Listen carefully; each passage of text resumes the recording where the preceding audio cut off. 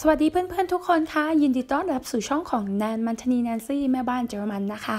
แล้ววันนี้เป็นวันที่ 24 ตุลาคมปีคศ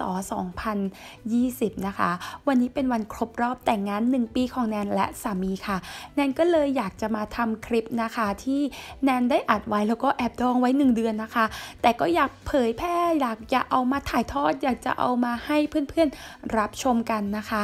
ยังไงก็แล้วแต่นะคะนหวังว่าเพื่อนๆจะชอบคลิปนี้ของแนนนะคะ เรามาดูกันนะคะว่าวันนี้แนนอะจะไปดินเนอร์ที่ไหนกับสามีนะคะ แล้วแนนจะได้ของขวัญอะไรจากสามี ถ้าทุกคนพร้อมแล้ว เดี๋ยวเรามารับชมคลิปกันเลยค่ะ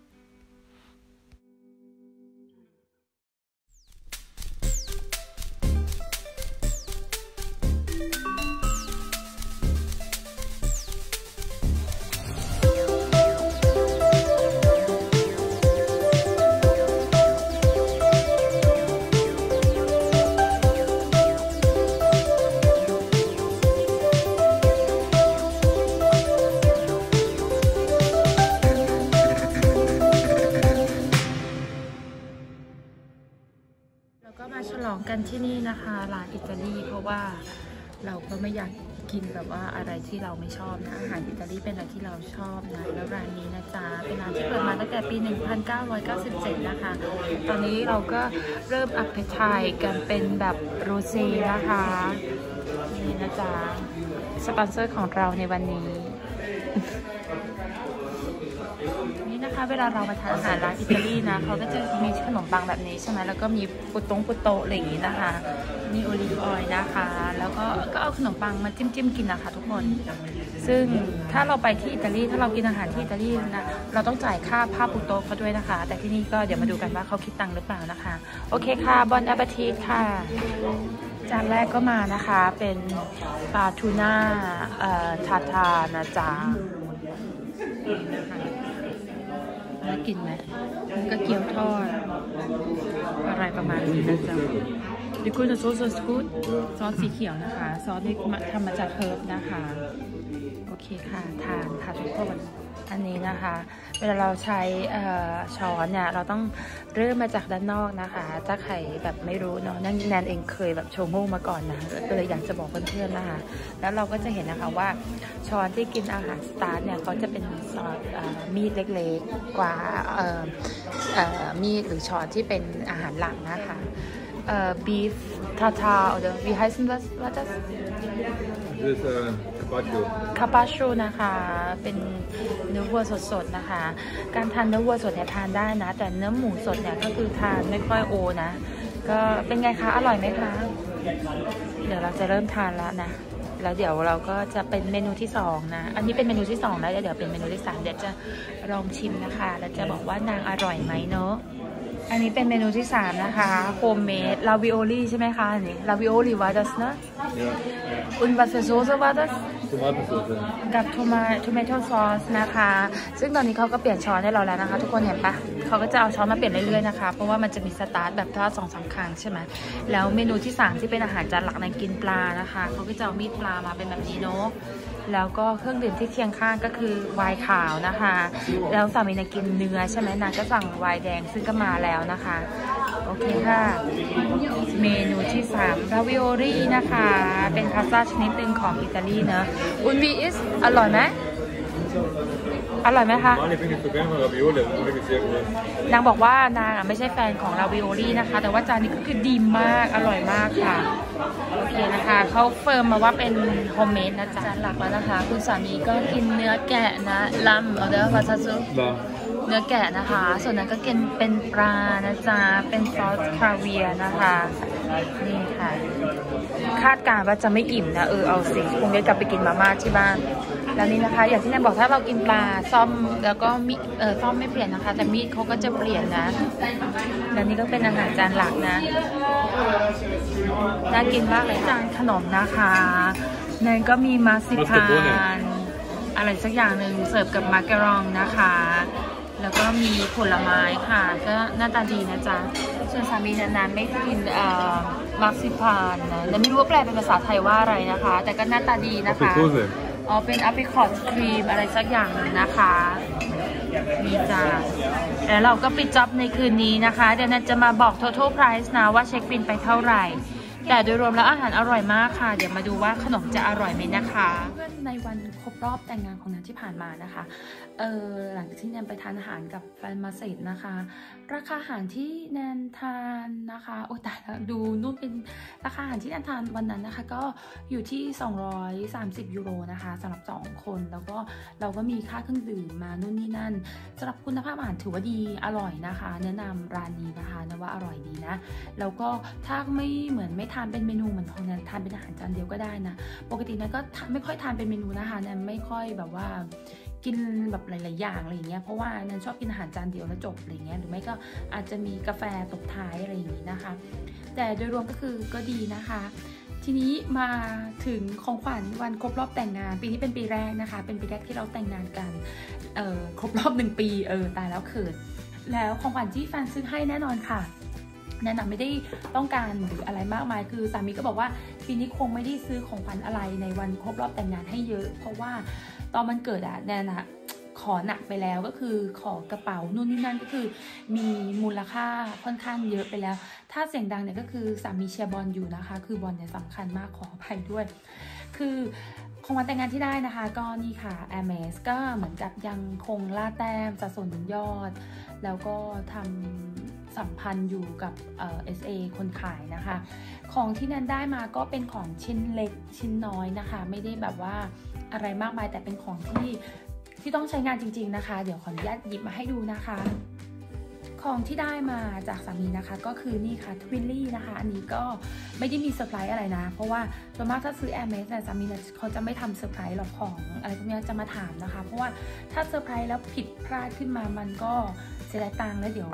เดี๋ยวเจอวีนอีกอะไรเงี้ยนะก็เลยไม่อยากที่จะมีการเซอร์ไพรส์นะคะ แล้วก็เนี่ยก็ได้ลิปสติกมาอีก 3 แท่งนะคะนี่นะคะ อันนี้เป็นสีเพิ่งออกใหม่นะคะ เป็น limited edition เบอร์ 54 นะบอกเขาบอกเลยว่าอันเนี้ยถ้าใครมองหาลิปสติกนะนี่นะคะคือดีมากนะ สีเขาสวยมากนะคะ อันเนี้ยใช้ อันนี้เพิ่งได้มาแล้วก็ใช้บ่อย แล้วก็เป็นลิปสติกอีก 2 อันนะคะ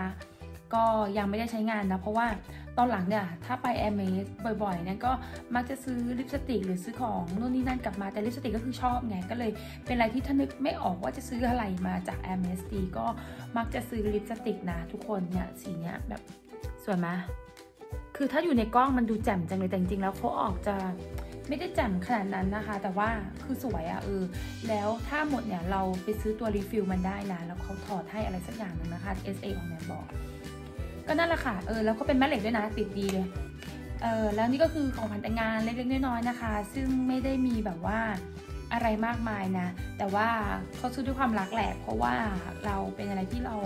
เป็น FC มาอยู่อะไรอย่างนี้ใช่ไหมนางก็แบบว่านั่นแหละไปซื้อให้ แต่แล้วก็ในช่วงของคริสต์มาสก็คือได้ซื้อของขวัญมาบางชิ้นแล้วนะคะ ในวันก็ในวันที่ครบรอบแต่งงานนี่แหละแนนก็ได้ไปซื้อออวันนั้นเป็นวันเสาร์ใช่ไหมแนนก็ได้ไปซื้อเออเขาเรียกว่าอะไรดีล่ะ ได้ไปที่ช็อป a i r m e s แล้วก็ไปเหมือนไปเตือนความจำ SA ของเราอย่างเงี้ยว่ามีอะไรมาเสนอเราบ้างนะคะ แล้วของที่เราอยากได้ก็ยังไม่มีมาเสนออะไรอย่างนี้นะคะ ก็เลยทำให้วันนั้นน่ะแนนก็ได้ติดของบางอย่างกลับมา ซึ่งสามีก็บอกว่าแต่ยังไม่ให้เป็นของขวัญแต่งงานนะจ๊ะเธอให้เป็นของขวัญคริสต์มาสแล้วกัน เพราะว่าเดี๋ยวมันจะแบบเออเผื่อว่า ใครจะไปรู้ว่ากระเป๋าเคลลี่ที่นันรอคอยอยู่อาจจะได้ในช่วงคริสต์มาสอะไรอย่างเงี้ยแล้วเดี๋ยวมันจะเยอะเกินไปอะไรอย่างงี้ไงนางก็เลยบอกว่างั้นก็ซื้อแบบว่าอันไหนที่เธอคิดว่าหายาก อันไหนที่คิดว่าเธอ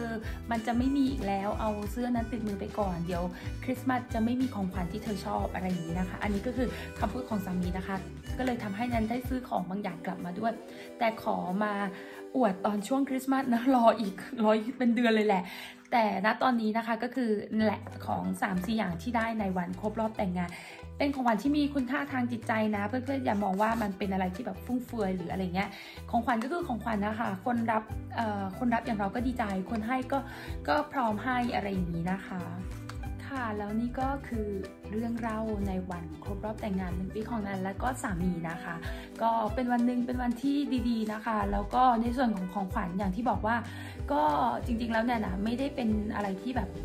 อยากได้ในวันนั้นแล้ว เพราะว่าก่อนหน้านี้มันเป็นวันเกิดของแนนใช่ไหมซึ่งสามีก็ก็ซื้อให้เราเยอะช่วงคือวันเกิดปีนี้ถือว่าได้ของขวัญเยอะมาก เพราะว่าเหมือนนางอาจจะแบบปลอบใจหรือเปล่า เพราะว่าแนนอยากได้ Birkin หรือว่า Kelly แต่ว่ากระเป๋ามันก็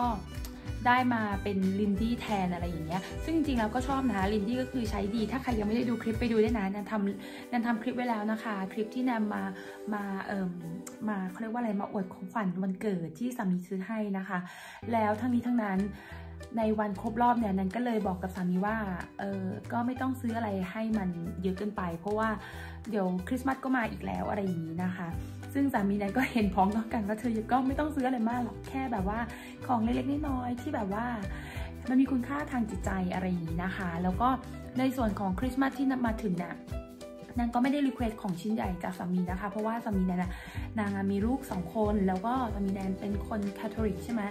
แล้วเด็กอะถึงต่อให้เขาจะโตยังไงอะเขาก็ยังรอของขวัญจากคุณพ่อเขาอยู่อะไรอย่างนี้นะคะทำให้ในช่วงคริสต์มาสอะตั้งแต่แนนคบกับแฟนมาแล้วนะคะแนนไม่ค่อยขอของขวัญชิ้นใหญ่นะนอกจากว่าปีนี้ถ้าสมมติว่ากระเป๋าที่เรา request ไว้ที่ a m a z มา อันนั้นก็คือเป็นอีกกรณีหนึ่งที่นางจะซื้อให้เนาะเพราะว่าเรารอเคลลี่มาสักพักหนึ่งแล้วอะไรอย่างเงี้ยแล้วทีนี้ ก็ตามนั้นเลยก็คือถ้าได้ก็คือได้เป็นก็โชคดีไปที่จะได้เป็นของขวัญคริสต์มาสที่จะมาถึง แต่ถ้าไม่ได้ก็คือขอเป็นของขวัญเล็ก ๆ น้อยๆอะไรเงี้ยเพราะว่าอย่างที่บอกว่าเดี๋ยวคริสต์มาสค่าใช้จ่ายก็เยอะตอนนี้นั่งอยู่ในห้องนอนนะคะ หลังบ้านเนี่ยนะนั้นพาไปนอกเรื่องนะ แต่ห้องนอนนั้นจะมีระเบียงใช่ไหมแล้วระเบียงเนี่ยกำหนดการคือจะต้องมาทำในตอนต้นเดือน December นะคะ แล้วก็คือ 5 วันอะเสร็จที่เขา 5 วันหรือ 15 วันจะไม่ได้แต่ลงท้ายด้วย5นี่ค่ะ แต่มันเป็นค่าใช้จ่ายไงเฉพาะทำระเบียงก็มีค่าใช้จ่าย 8,000 ยูโรแล้วอะไรเงี้ยนั้นก็เลยคิดว่าอันไหนที่แบบว่ามันแบบไม่ต้องซื้อก็ได้ก็โอเคก็ได้อะไรเงี้ยก็เลยไม่ได้แบบซีเรียสในเรื่องของของขวัญนนะคะโอเค วันนี้แนนก็ขอจบคลิปลงก่อนนะคะ เป็นคลิปที่แนนมาทำไว้เพื่อแบบเดี๋ยวในอนาคตแนนก็จะได้กลับมาดูว่าเนี่ยหนึ่งปีของวันครบรอบแต่งงานของแนนและสามีนั้นทำคลิปไว้นะคะ ยังไงแนนขอบคุณเพื่อนๆมากๆนะคะ ที่ติดตามรับชมกันมา แล้วเจอกันใหม่ในคลิปหน้านะคะ เอออย่าลืมนะคะ ใครที่เพิ่งเข้ามาดูแนนใหม่เนี่ย ก็อย่าลืมกด subscribe แล้วก็กดกระดิ่งนะคะ แล้วก็ติดตามแนนต่อไปเรื่อยๆนะคะ แล้วก็ใครมีคอนเทนต์อะไรที่อยากจะแนะนำให้แนนทำหรือว่ามีอะไรที่เพื่อนๆคิดว่ามันน่าสนใจเนี่ยแนนควรจะเอามาทำนะ เพื่อนๆแนะนำแนนมาได้เลยนะคะ แต่แนนขออย่างเดียวว่า concept ที่แนนจะทำ content ใด ๆ ก็ตามแต่ ให้อยู่ใน content ใน concept ที่เป็นไลฟ์สไตล์ของแนนเอง ถ้าอะไรที่มันนอกเหนือที่ไม่ได้เป็นไลฟ์สไตล์ของแนนเองเนี่ยแนนคิดว่าแนนไม่น่าจะทำได้อะเพราะว่ามันเหมือนฝืนไง เพราะว่าการทำ YouTube เนี่ยแนนตั้งใจที่จะทำด้วยด้วยใจอะอยากทำอะไรที่เราชอบ แล้วก็เออเอามาฝากเพื่อนๆดูอะไรอย่างนี้นะคะ ยังไงวันนี้นั่นไปก่อนนะขอบคุณมากๆ และสวัสดีค่ะ